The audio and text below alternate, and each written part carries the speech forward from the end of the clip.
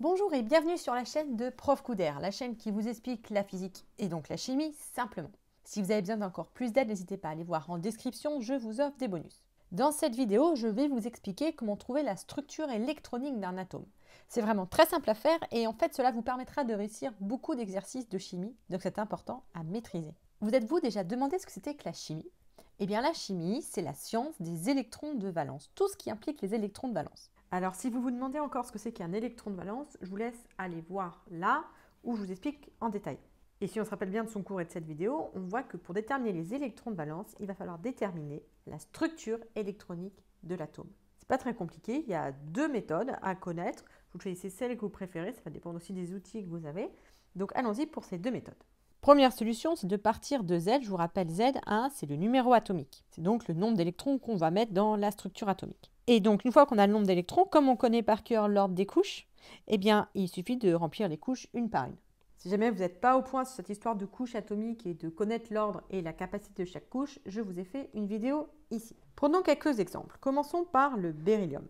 Le beryllium a un numéro atomique 4. Ça veut dire qu'on va avoir 4 électrons à placer. On indique sa structure électronique. Pour bien montrer qu'on cherche sa structure électronique, on met le nom de l'élément entre crochets. Première couche à remplir, un S. On sait qu'il y a deux places. On a deux électrons, hop, on la remplit facile. Deuxième sous-couche, 2S. 2S, il y a deux places dedans. On avait quatre électrons, on en a mis deux ici, il nous en reste deux, 2S, 2. On a placé tous nos électrons. Voilà, on a donc trouvé la structure électronique du beryllium. Et pour aller un peu plus loin, on peut bien voir que la dernière couche remplie, c'est la couche 2. Donc il s'agit ici de la couche de valence. Dans cette couche, il y a deux électrons. Donc on a deux électrons de valence pour le beryllium. Deuxième exemple, le soufre. Pour le soufre, le numéro atomique vaut 16. Donc on a la structure. Donc maintenant qu'on a le nombre d'électrons, on va les remplir. Donc on écrit la structure. Première 1s2. Il nous reste donc 14 électrons. On peut continuer. On va remplir la 2s. 2. Donc là, il nous en reste maintenant 16 moins 4, 12. On peut continuer encore. 2p. Bah là, P, on peut aller jusqu'à 6. Il nous reste 12 électrons, donc on peut la remplir. Il nous reste 6 électrons à mettre dans les couches, donc on peut continuer. Allez-y. 3s. 3s, on en met 2. Il nous en reste 4. Et donc dans la 3P, on va en mettre 4. Voilà donc pour la structure. On regarde la couche externe. La couche externe, on voit que c'est la couche 3. Attention à bien prendre tous ceux où il y a un petit 3. Donc c'est la couche 3.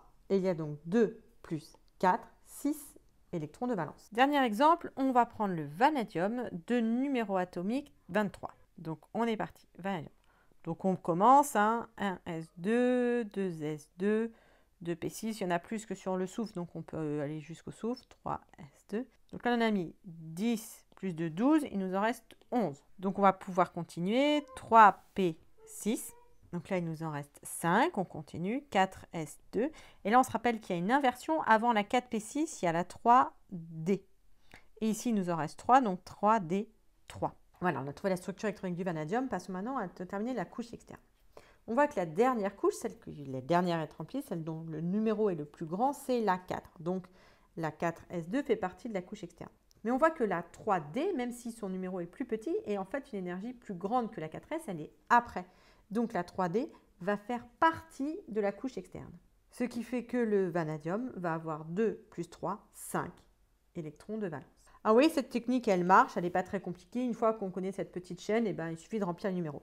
Mais c'est quand même fastidieux. quand on n'en a pas beaucoup, ça va, mais là, ça commence à être fatigant, etc. Donc il y a une deuxième solution qui ne marche pas tout le temps, parce qu'il faut un outil, mais qui est beaucoup plus rapide. Cette deuxième solution, utiliser le tableau périodique des éléments. Que voilà, alors je ne vous ai mis pas tout le tableau, hein, juste la partie euh, qui est au programme au lycée. Si vous avez des questions sur le tableau, vous n'êtes pas au point, allez voir cette vidéo. Je vous ai fait une vidéo spécialement sur le tableau. L'avantage du tableau périodique, c'est qu'on va pouvoir trouver la structure de la couche externe sans passer par tous les électrons de cœur, ce qui était un peu le problème de la méthode d'avant qui était un peu fastidieuse. Pourquoi? Bah, Parce qu'en regardant juste l'endroit où est l'atome, ou l'élément dans le tableau, eh ben on a sa structure électronique externe directe. Hyper pratique. En fait, c'est normal parce que le tableau a été construit à partir de la structure externe. Donc en fait, tout ça, c'est ce qu'on appelle le bloc S, c'est-à-dire que euh, ici, la couche externe, ce sera la couche S. Alors, bah, ici, dans, et suivant la ligne, bah, la ligne, ce sera la 1S, la 2S, 3S, 4S, 5S. Ici, c'est ce qu'on appelle le bloc P. Ça veut dire que tous les éléments qui sont ici, en fait, leur couche externe, bah, c'est une couche P. Ici, bah, ça va être la 2P, 3P, 4P, 5P. Donc, facile. Et enfin, le dernier groupe ici, ce dernier bloc, bah, c'est, vous l'avez bien deviné, le bloc D. C'est-à-dire que pour tous ces éléments, eh bien, la couche externe sera leur couche D.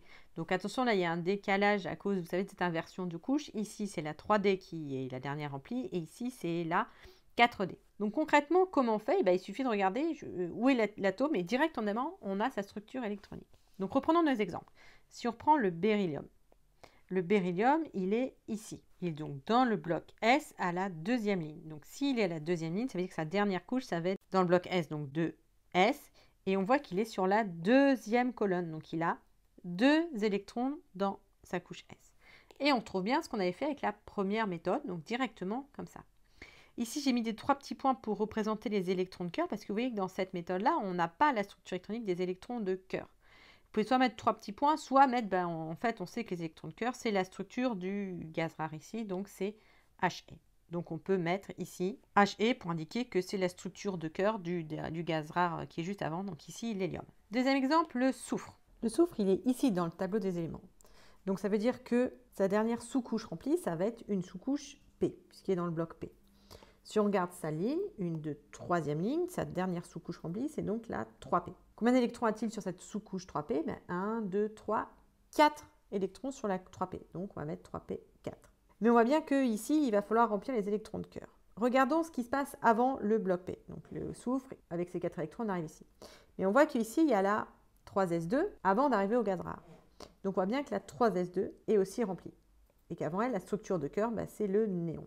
Voilà, on a trouvé la structure électronique du soufre. Et vous voyez que c'est très rapide avec le tableau. Encore plus puissant, on va le faire avec le vanadium. Le vanadium, vous voyez, il est là, il est dans le bloc D. Donc puisqu'il est dans le bloc D, on sait que sa dernière sous-couche, ça va être une sous-couche D. Alors attention, vous vous rappelez de l'inversion, même si c'est la 1, 2, 3, quatrième ligne, eh bien en fait la D, puisque c'est la, la, couche d'avant, c'est la 3D. Et on regarde où est-ce qu'il est 1, 2, 3e, donc il y a bien 3 électrons dans la 3D, donc 3D3. La même façon que pour le, pour le soufre, où il fallait prendre en compte la S qui était remplie, on se rappelle qu'avant la 3D3, il y a la 4S ici. Donc 4S qui est remplie 4S2. Et on est revenu jusqu'ici et on voit qu'avant, bah, c'est bon, c'est un gaz rare, donc on va mettre la structure électronique de là pour le cœur. Donc voilà, on a les trois structures. On voit qu'à chaque fois, on a la structure des électrons de cœur et également les électrons de valence. Donc on voit que si on a le tableau à portée de main, ce qui arrive quand même assez souvent, c'est beaucoup plus efficace que d'aller chercher la structure. Les chimistes dans leur laboratoire, ils vont pas chercher la structure, ils prennent le tableau, on regarde dans quelle colonne il est, et bim, on a directement la structure électronique. Donc pour résumer, en chimie, seuls les électrons de valence sont impliqués, donc c'est indispensable de les trouver pour pouvoir trouver la réactivité de l'élément en question. Donc pour trouver les électrons de valence, il faut trouver la structure électronique d'un atome. Pour ça, on peut soit on part du numéro atomique et on remplit le nombre d'électrons qu'on a dans les couches électroniques qu'on a. Donc il faut connaître l'ordre des couches atomiques. Deuxième solution, utilise le tableau périodique. Suivant l'endroit où se trouve mon élément, je vais directement avoir la structure électronique et le nombre d'électrons de valence. Voilà, j'espère que cette vidéo vous a plu. N'hésitez pas à liker si c'est le cas et à poser vos questions en commentaire si quelque chose n'est pas clair pour vous. Et si vous voulez de l'aide pour travailler vos cours, n'hésitez pas à aller voir en description. Je vous offre un petit cadeau pour vous aider.